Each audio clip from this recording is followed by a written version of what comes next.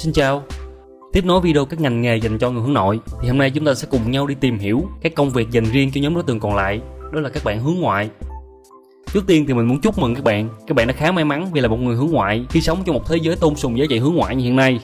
Trong một xã hội không ngừng thay đổi và cải tiến thì văn hóa kinh doanh cũng bị chi phối bởi các giá trị hướng ngoại. Tuy là mỗi ngành nghề sẽ yêu cầu những tính cách, những kiểu người khác nhau nhưng nhìn chung thì đa phần nhà tuyển dụng của các công ty, họ sẽ thích tìm kiếm các bạn ứng viên là người hoạt bát, năng nổ và giao tiếp tốt, hơn là một bạn hướng nội yêu màu tím, sống nội tâm và hay cốc thầm.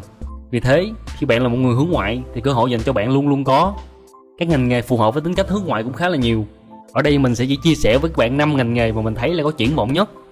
Đầu tiên đó là nghề nhân sự. Tại sao nghề này lại phù hợp với người hướng ngoại? Người làm nhân sự nói một cách cho dễ hiểu là người kết nối các nhân viên lại với nhau giữa nhân viên và công ty luôn luôn phải tiếp xúc với nhiều người, với nhiều kiểu tính cách khác nhau và phải biết cách để dung hòa các nhóm tính cách này lại, để tạo ra một môi trường để tất cả nhân viên cùng làm việc vì lợi ích chung của công ty. Nên các bạn buộc phải có khả năng giao tiếp tốt, dù là bạn làm vị trí nào trong mảng nhân sự đi chăng nữa. Chi tiết hơn về ngành nhân sự, các bạn có thể tham khảo video mình đặt ở phần mô tả nhé. Rồi cái ngày thứ hai cũng rất phù hợp với các bạn hướng ngoại, đó là tổ chức sự kiện. Người làm công việc tổ chức sự kiện sẽ thực hiện các hoạt động như là lên kế hoạch, điều phối, dự báo và xử lý các tình huống liên quan đến các sự kiện được tổ chức như là hội nghị, hội thảo, triển lãm hay các buổi tiệc tùng vân vân. Hiện tại thì không có quá nhiều trường đào tạo riêng một chuyên ngành về tổ chức sự kiện mà nó thường nằm trong các ngành lớn hơn như là marketing, quản trị khách sạn, quản trị du lịch và lữ hành hay là quan hệ công chúng vân vân. Các bạn yêu thích tổ chức sự kiện có thể tham khảo và đăng ký học các ngành này nhé. Rồi một công việc tiếp theo mà mình muốn giới thiệu tới các bạn đó là hướng dẫn viên du lịch. Ngành này thì không có gì quá xa lạ với chúng ta. Như các bạn cũng biết thì hướng dẫn viên du lịch sẽ thực hiện cái công việc như là lên kế hoạch, hướng dẫn đoàn du lịch, giới thiệu về các điểm tham quan, xử lý các tình huống phát sinh trong tour, vân vân. Công việc này thì đa phần là mình thấy nó liên quan tới kỹ năng là nhiều, đặc biệt là kỹ năng giao tiếp, cách để các bạn truyền đạt, để nói chuyện với khách và đàm phán thương lượng khi có tình huống phát sinh.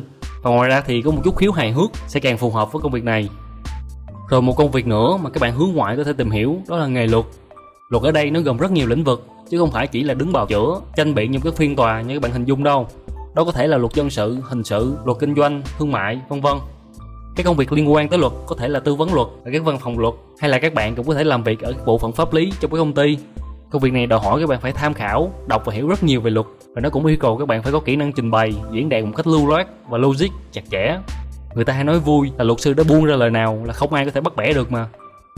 Rồi công việc cuối cùng mà mình muốn giới thiệu tới các bạn, đó là cái công việc liên quan tới bán hàng hay là môi giới sản phẩm, dịch vụ. Chúng ta hầu như là ngày nào cũng tiếp xúc với các bạn làm cái công việc này, đặc biệt là trong lĩnh vực đầu tư bất động sản hay là chứng khoán. Công việc chính của nghề này về bản chất là giới thiệu các sản phẩm của doanh nghiệp tới cho các khách hàng tiềm năng. Và để thuyết phục được một người mua hàng của mình thì không phải dễ. Ngoài kiến thức, sự am hiểu về sản phẩm thì nhân viên bán hàng hay nhân viên môi giới cũng phải tự trang bị được một kỹ năng ăn nói khéo léo, kỹ năng thương lượng đàm phán đỉnh cao. Thì đó chính là những kỹ năng mà các bạn hướng ngoại rất dễ để rèn luyện được hơn là các bạn hướng nội hơi trầm tính và ít nói. Rồi đó là năm công việc mà mình thấy rất phù hợp với các bạn có tính cách hướng ngoại mà chỉ giới thiệu sơ qua về cái công việc này thôi nếu các bạn muốn biết thêm gì thì để lại comment mình sẽ làm những video riêng để review chi tiết về các ngành này nhé nếu thấy video này có ích thì các bạn hãy giúp mình bằng cách bấm vào nút like và chia sẻ video này đến với những người cần nó và bấm vào nút đăng ký kênh và cái chuông để nhận được những video thú vị và bổ ích tiếp theo nhé. Cảm ơn các bạn. Hẹn gặp lại các bạn trong video tiếp theo.